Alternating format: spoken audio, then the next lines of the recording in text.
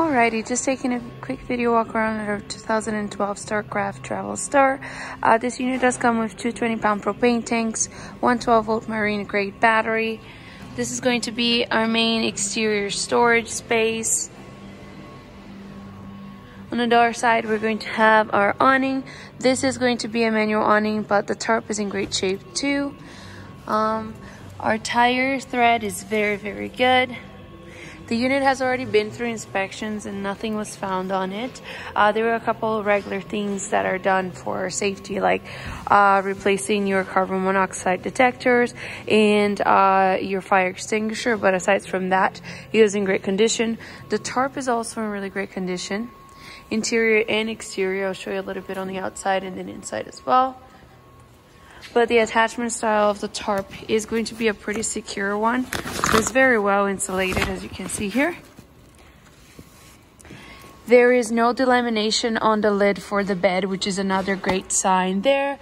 I used to get your spare tire, two inch receiver in the back. Another exterior storage.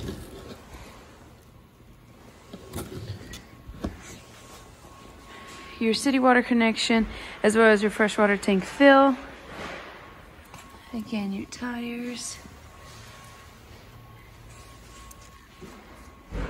There is no delamination on the exterior walls, which is very, very good and very good for a, unit this age. It also does feature an exterior shower, so there is access to cold and hot water in that space. And then I'll go in inside. The lower bunk is going to be almost a double-sized bunk with a longer length, which is very nice. Um, and then the top one just reduced a little bit on the width uh, because of the steep sorry, because of the angle of the wall. The interior of the unit does feature um, a double bunk on the bottom and a single bunk on top here in the front of the unit with some storage. You do get a, an access ladder with it. Each bunk has its own light.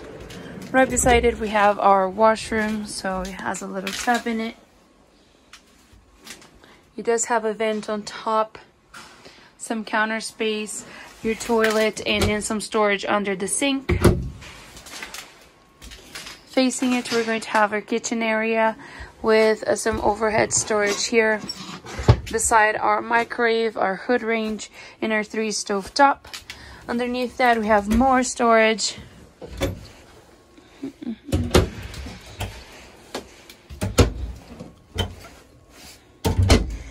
And then our refrigerator is going to be right in front of our kitchen. This is going to be a six cubic feet refrigerator. That's a two-way, so gas and electric.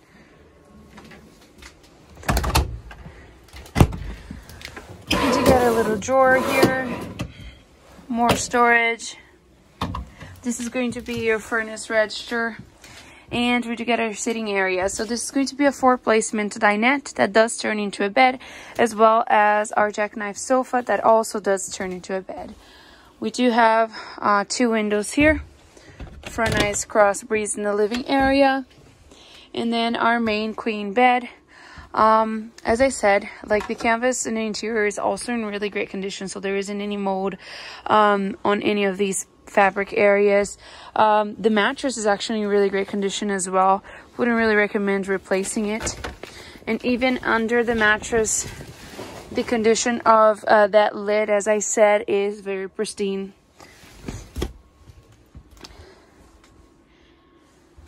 Your AC is going to be here in the ceiling. Um, it's a Coleman Mach, which is a very, very popular brand uh, used, used in most RVs these days.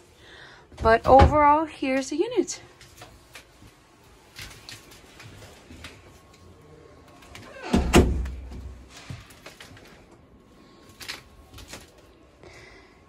If you have any questions, please let me know. Thank you.